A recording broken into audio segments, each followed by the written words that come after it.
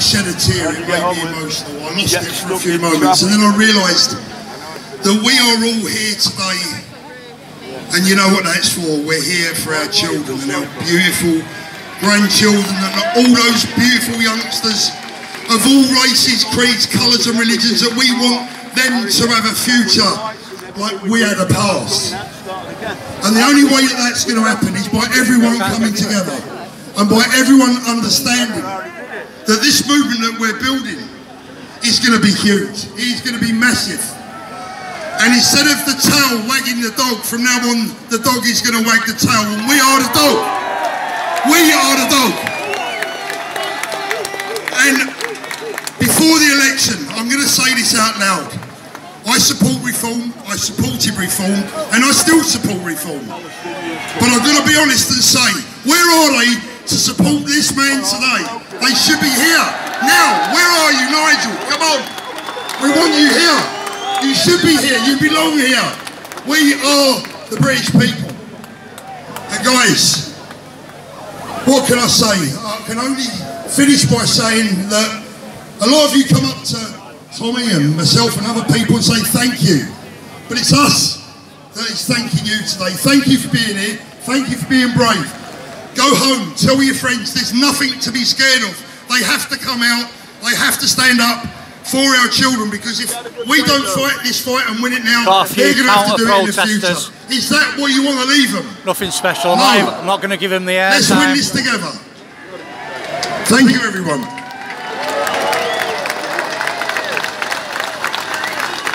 What a blazer!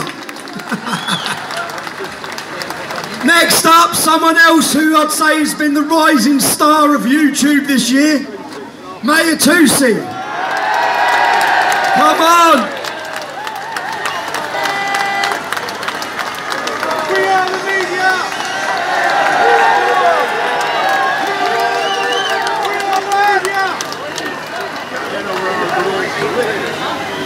Good afternoon, Britannia.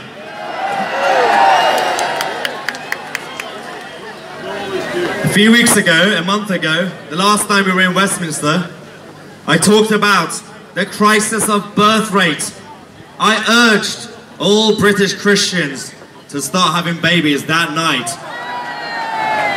Hands up if you've actually done it. Uh, try Not it. many. I did warn the men not to have too much beer that day.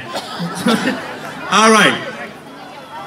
There's a bit of a confusion here today. Some people out there don't know exactly why we are here. There's a small group of far left activists, champagne socialists, who've done a gathering.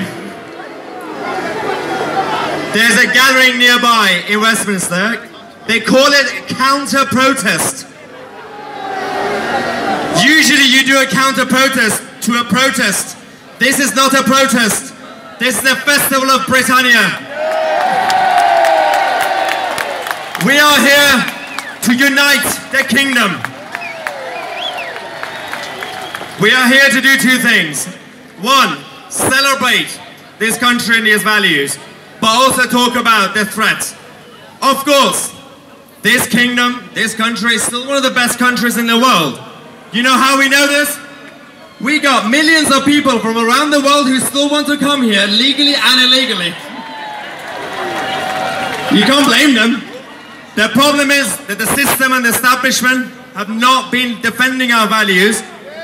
So you can't expect the newcomers, even if they want to integrate, you can't expect them to do it easily.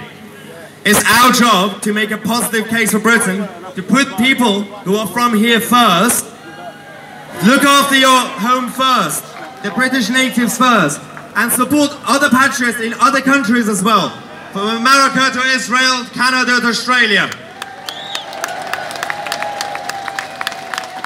Now, to say one thing that's a little bit more negative, we have a lot of threats. We got external threats, we got the ideological threats, we got Islamism, everything, wokeism.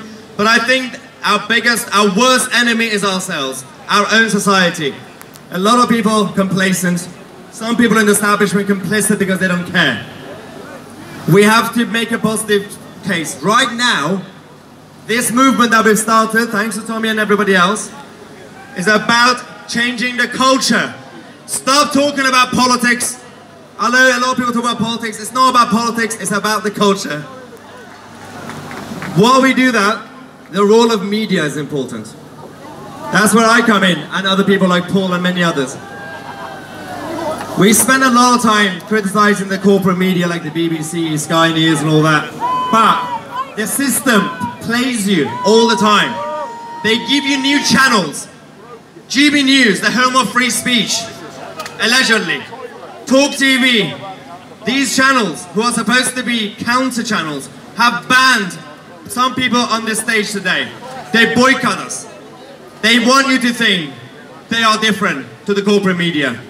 There are some good people working there, some good presenters. They don't have the freedom. Ofcom, the advertisers, the corporate money behind it, they don't have flexibility. Then that's why we are here. Tousi TV is growing because of you guys. Paul Thorpe is growing because of you guys. This guy. I want to say a massive thank you. Once again, go home, have babies. I'm Mahyar Tousi, and we are the media.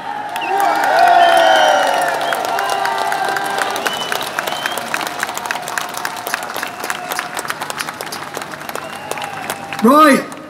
What's the darkest stain on our history? Islamic rape gangs. You may have all seen as well, I want to thank Urban Scoop. There's a lot of organisation that goes on behind the scenes. When anyone sees a documentary I make, I take the credit. There's a hell of a lot of people who work very hard for it. There's a hell of a lot of people who worked hard to make today possible. And you may have seen Urban Scoop has a new journalist. Let's introduce you to her now. Sammy! Go, Sammy!